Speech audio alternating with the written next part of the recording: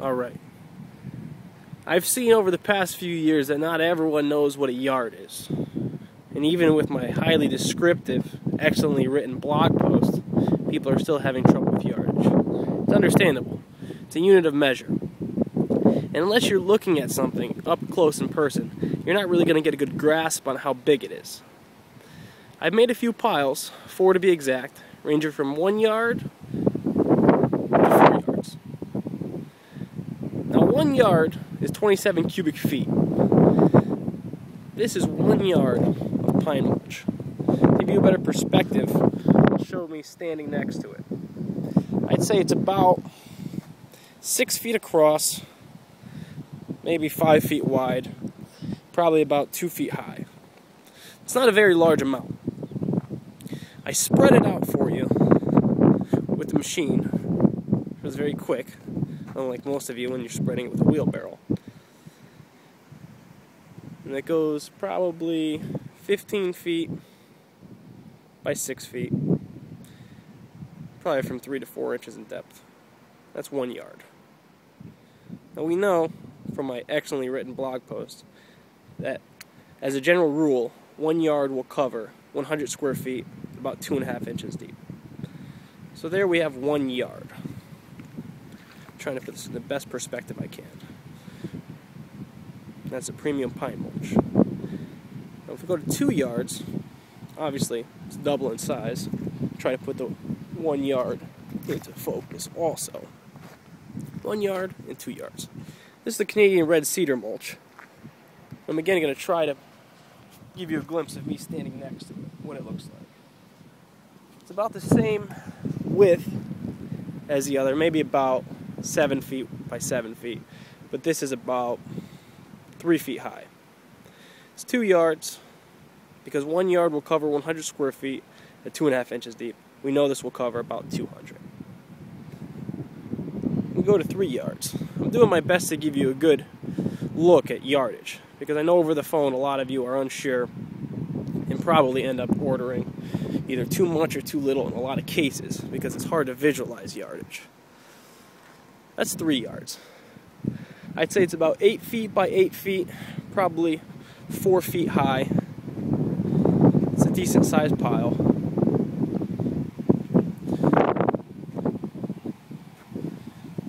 Four yards, it's incrementally bigger. I know this is amazing stuff.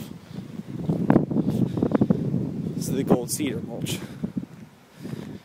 I'd say it's probably four feet probably 10 feet by 10 feet. And as we add yardage to it, it's adding 27 cubic feet every time.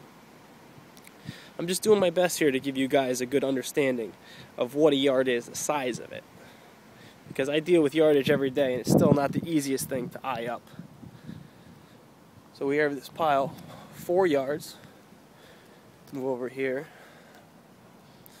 Three yards two yards, and finally one yard. It's usually good to order a little extra. Maybe if you compute three yards, order three and a half. Because in general, we don't always spread it at two and a half inches deep. Some spots might be three and a half, some spots might be two and a half. It's always extra better to have a little bit extra rather than run short, as many of you may have realized. So these are our mulch piles.